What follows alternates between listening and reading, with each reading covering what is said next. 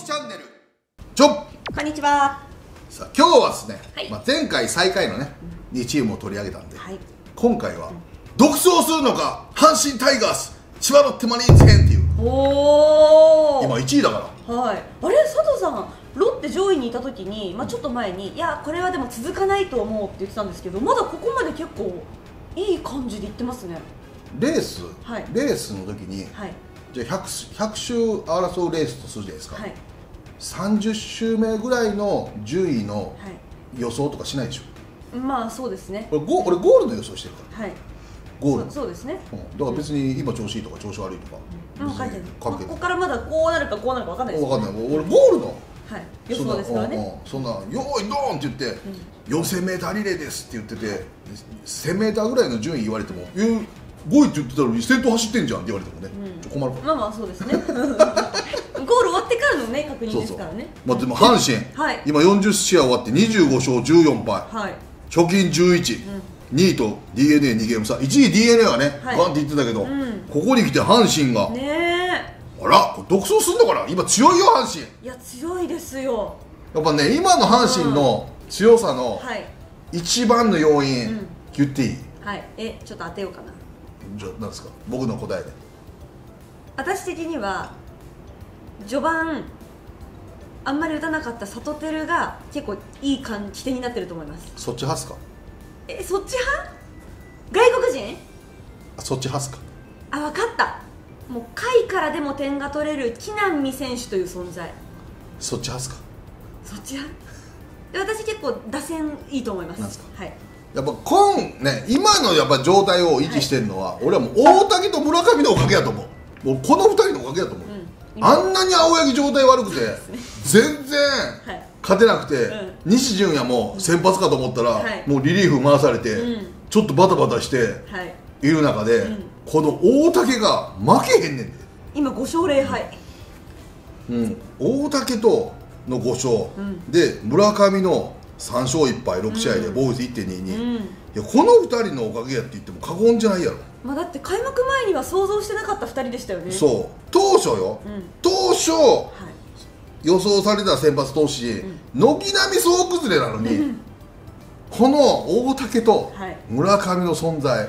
投手陣を大型連敗させない、うん。いやえぐくない？やすごいです。想で像でリリーフも湯浅いなくなって、はい。と思ったら、ケラーとかねいいじゃん。えはい。で岩崎もうん。抑えになって、で梶谷もいいし、うん。ねで石井でしょ、はい。でピーズリーもね、うん。頑張ってるし、はい。あの及川、うん。であれ岩貞はい。ねえ、リリーフも万全やんな。はい。いいですね。いややばいよ。だ今打線も投手陣もなんか抜け目あんまりないイメージですね、全く。だってチーム防御率2.65はセ・リーグ1位、おー。で先発防御率3.04セ・リーグ1位、はい。救援防御率1.54セ・リーグ1位、全部1うん。でフォアボール78個セ・リーグで一番出してない、うわ関東4ーうん。完封にうん。無四球4と、うん。えーセ・リーグで先発投手陣の結果からしたら一番いい、うわで被打率2割2分5厘、はい。一番打たれてない、ーうん。クオリティスタート率驚異の65%わーダント。ツ1位。で援護率4.28唯一の4点台のダントツ1位。チーム打率2割5分2厘は、えーセ・リーグ2位タイ、で本塁打数21本は、えーセ・リーグ5位なの5位なんだ。そうホームランはそんな打ってないええー、サトテルが最近打ち出したなってイメージはねあるんですけど。得点圏打率はい。2割8分、うん。セ・リーグ2位。うん、だからチャンスでね、1位が d n a なんで,、はい。でチャンスで打ってるっていう、これ悪いとこないですよ。でね袴田さん言ったように、はい。最初ね、サトテルとかノイジーちょっと打たなくなっちゃって、はい。ちょっとなんかつ打線のつながり悪くなって、はい。なんか12番は頑張ってるけどみたいな感じだったけど、近本選手とかはねいいけど。うんサトテルがいつも打たなくてチャンスを潰すみたいな感じだったけど、サトテル打ち出してきて、ノイジーも打ち出してきて、はい。またビエセスもたまに出て打ったりなんかしながら。どっからでもつながるみたいな、しかも昨日梅ちゃんもはい。開幕戦以来の,、あの打点上げて、はい。い、やーこれちょっと落ちる要素がないな。だって。だからマジ落ちる要素があるとしたら、うん。大竹と村上がこけるっていう。あちょっともう体力持たなくなってくだとるとかか、ちょっと怪我して離脱しちゃったりとか,、うん。だから何気だからそれまでに青柳が復調して、ん。その西勇輝とかが埋めなくと、はい。だ俺はねこれ大竹と村上がいなくなったら危ないとそうです思う、ね、確かにまだ実績がそこまであるわけじゃないので、うん。どこまでシーズン持つかってうん、いうのは未知数ですそうそう体力っていうところもあるし、でもまあ一つのプラス要としては、56回投げときゃ、はい。リリーフよろしくでいけるから。そうなんでしかも点取るし、バッターが。そうそうそう。でも俺はこの2人がいなくなるときつくなるっていうところと、まあでもエラーも少なくなってるからね。昔ね昔というか何年か前はもうエラーがエラーがあってだからやっぱ丸ポジションをやめてうん。一つのポジションをすることによってはいっていうところあるから、まあ、それは岡田采配ですから。うん。独走しちゃうのかなこれ。だってなんか沈む絵が見えないもんな。だからもう沈むとしたら先発が打ち込まれる、だからだから大竹村上に負けがいっぱいつくようになると。うん。あの多分そこだな。俺はもうそこだと思うそうですね、あと大山が打てなくなったら負けると思う。ああ何気に大山ピンポイントで打ってるから、うん。ダウンのだから大山全力で抑えよう。全球団の人、うんあ阪神を独走させないために、大山を全力で抑えよう、うんここやと思う打線は。そうです。でもですよ、3割超えてるのは近本選手、中野選手に大山選手、木浪選手ってこんな3割超えてるんですよ、だからもうそう分断しよう。大山をアウトにしたら分断できるから。確かに真ん中にいる。そうそうだからところを出してお全力で大山行こう、はい。であと大竹と村上をなんとか打ち崩そう、ん。他の球団の人。でまたここからもしかしたら森下選手とかが帰ってきてまたなんかこう上がりだしたりしたら、そうだね。大山選手打たないけど僕打つよみたいになんかなってくる気がするしな、うん。でもミエセスもいるしね。そうなんですよね。これあるから。これあるからミエセス。佐藤さん似てるんですよね、うんちょだからねやっぱ大山やな、うん。大山をとにかく、あの打たれないようにはい。全力で研究して、ん。そこをまずあとは大竹と村上。はい。ここだな、うん。多分。じゃあ続いて、はい。ロッテ。ロッテ。ロッテが1位だからね。いやあのロッテそ吉井さんの采配なんかすごい面白くないですか？そう？なんでブルペンデーが頻繁にあったりとか今2まあでもまあああの前回は森がいきなりはい。背中痛くなってはい。投げれなくなったから、あそれでなんですそうそう先発が登板回避したから仕方なくブルペンデーになっちゃったって言ってた、はい。日曜日はあであの途中の時は、はい。あの佐々木朗希が今投げれてないから、うん。人がいないっていう。あそれでじゃあもうもう1イニングそうそうそう。で。美馬はダメでうん。石川怪我してみたいな、はい。だから人がいなくて、うん。まあ仕方なくなってるっていう6連戦を。結構打線もすごい入れ替えるじゃないですかそうだね。イメージはあボビー式だから。ねお思いました。うん。佐藤さんが昔言ってたボビー好きだと思って元気な人休ませるみたいな。俺はもうすんなり受け入れれるんだけど、うん。今は23勝14敗2分けで、はい。貯金が9うというところで、ん。はい。でもよ、そんな成績大したことないの？よえそうなんですか？チーム打率2割3分4厘はい。が、えー3位。うん。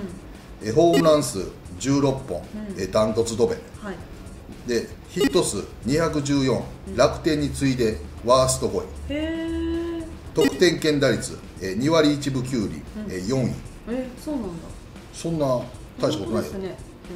でもよ、今のロッテの勝ってるのは、うん。先発のおかげなのよ。まあ点取られないから。うん。今ロッテねチーム防御率はい。2.59、ダントツ1、うん。えー先発防御率2.34ダントツ1、うん。これ12球団1位だと思でも救援防御率3.02 4位、うん。ちょっとリリーフ悪いって。はい。あのやらかしちゃうから、はい。でも先発頑張ってるの、でクオリティスタート率53.85%で、えーセ・リーグ2位。うん。パ・リーグあパ・リーグ2位、で被打率。2割2分6厘は5位で。うん。いいってことか。左率。そうそうそう。あだから2位。打たれてない。そう打たれてない。そうそうそうそうで関東は1個だから、ん。あの関東とかしないから。はい。リリーフ使うんだけど、うん。ペルドモはいいんだけど、はい。まあ、若干増田も良くなってきたけどね、うん若干まだつ雑さがね、うん。ある。でフォアボール99個、はい。えーパ・リーグ2位。だからフォアボール無駄な与えてない。はい。でヒヒー本塁打21本、うん。一番打たれてない、うん。で被安打294も一番打たれてない。やっぱねピッチャー頑張ってる先発いや私開幕前はそんなに先発がいいってイメージなかった。種市西野うん。この2人が頑張ってて、まあ、佐々木朗希怪我してるけど、はい。今はねこれめちゃくちゃ頑張ってるっていう。であと小島はねね。援護点さえあれば勝てますよっていう感じでい。いし、まあ、メルセデスも5回ぐらいまでは完璧に試合を作るっていうところと、まあ、あとはブルペンデーっていうね、だから頭数はさうん。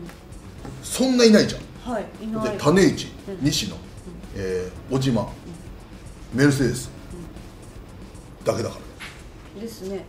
でまあこの前森が投げてたけどあとはい佐々木朗希ね、今詰め割れてるっていう、まあ、今月末には復帰するだろうけど、はい。だって小島防御率1.94、4勝1敗。種市防御率1.51、うん。3勝2敗。で、えー西野2.61 5勝1敗。すごいですね。でメルセデス1.80 1勝3敗、うん。えぐくない？先発、でもリリーフも抑えね増田、この前ねあの本拠地100セーブ今195セーブ、防御率1.08で13そういいね。ちょ沢村がね5.28を若干下げてるけど、ペルトも1.93、うん。防御率、であのヤクルトからトレードできたね、坂本も2.70左唯一ね、で西村が0.00だから。う んすごいそこ日本ハムから来てめちゃくちゃいいのよ、はい。で広畑もね、この前あの、初先発してね。まあ先発して、うん。でリリーフで次の、ねはい。日曜日にして勝ってね2.79防御率、東1.35っていうねいやピッチャーめっちゃ頑張ってんの。頑張ってますね。でね打線は、はい。得点圏打率悪いじゃん、ん。でも相手がやったらミスすんだよ。はい。ここ最近、へエラー、ワイルドピッチ、ミスばっかりしてフ天ォアボールめっちゃ出すのよ、それをことごとく掴むっていうーそういうこうちょっとそう。ャンスをロロッテがちょっと前に、うん。あの優勝しかけた時も、はい。だもう大体みんなミスすんのよ、はい。でそれをついていく、うん。でその代わり自分たちミスしないのよ。うんだからそこも大きいんだよね。うんうんだから自分たちはミスしない代わりに相手がミスしたところを着実についていくっていうところでエラーが11個で一番少ないから。はい。ロッテは。パ・リーグ。だからみ自分たちはエラーしない。相手のミスは速攻つく、でここぞの一撃、何回もチャンス作ってて1回ぐらい打つでしょみたいな。はい チャンスめっちゃ多いけど、そんな掴まないけど、はい。何回も来るから、えそれはそろそろ行きますよみたいな。で守備は堅実にやっといてってそうそうそう来たチャンスを確実に掴むっていう、だって先週のオリックス戦も1回から5回まではい。毎回得点圏だったのに、はい。全く点取れなかったけど、はい。どうあの？56回点1回やっと1回チャンス使いますみたいな、はい。それでも勝ててますからね。そうそう。だからやっぱ堅実なのよ、うんうん。そういったところはギラ成功率9割1分5厘ではい。1位よ。うん。楽天7割、はい。であの中日6割、6割。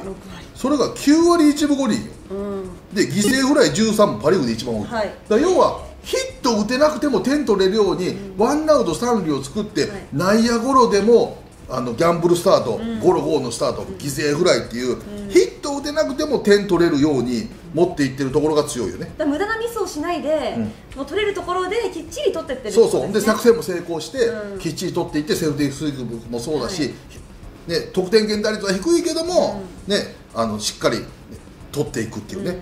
チーム打率もそんな高くないけどもみたいな、ホームランも打てないけども、うん。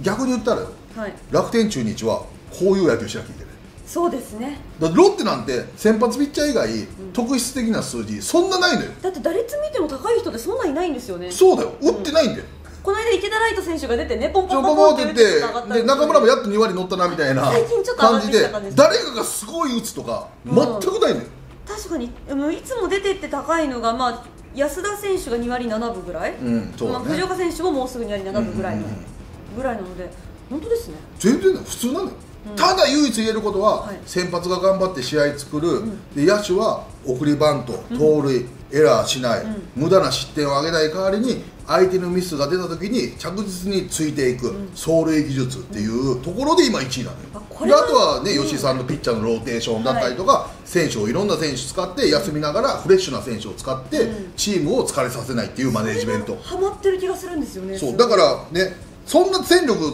すごいからだから要は楽天も中日も、逆に言うと今のロッテの強みができてないのよ、だから本当に見習わないといけない今の戦い方ですよね。そうそうそう、ん。そんな戦力も大したことないけど、はい。